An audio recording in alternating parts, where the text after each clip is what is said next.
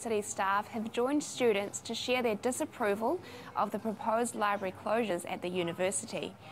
In a review, the university says it plans to close several specialist libraries, including the Music and Dance Library. But librarians say it's important the music collection stays intact because of its importance to the study of music. It was only last week that over 1,000 students rallied in protest of the closures.